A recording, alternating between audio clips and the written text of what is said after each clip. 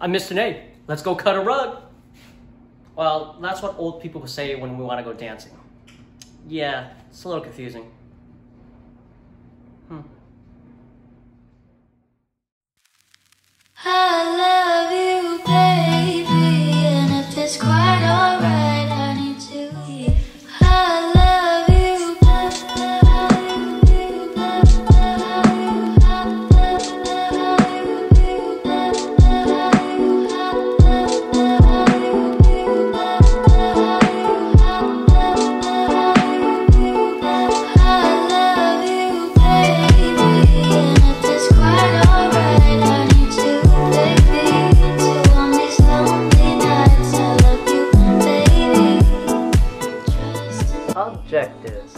Today I will learn how to push, shift, and pivot with my feet so that I can start gliding.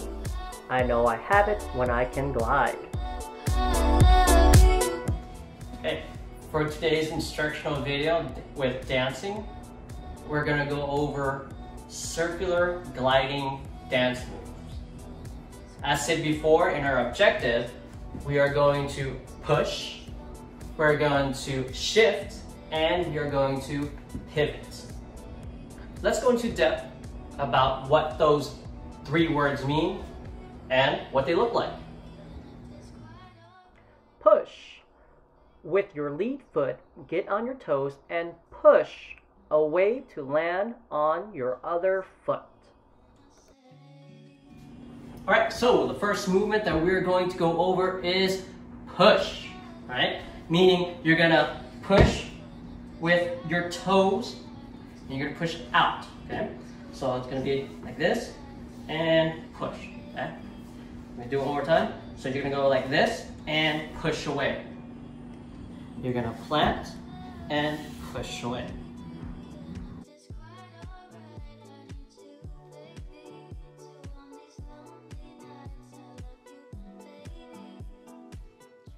Shift.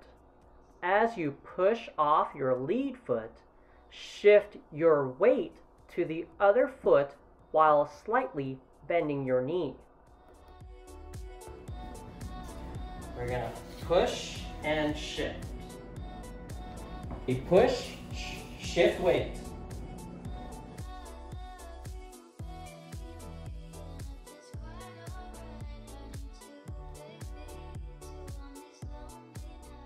Pivot or pivot. As your weight is shifted to your other foot, take your lead leg and bring it to your other foot.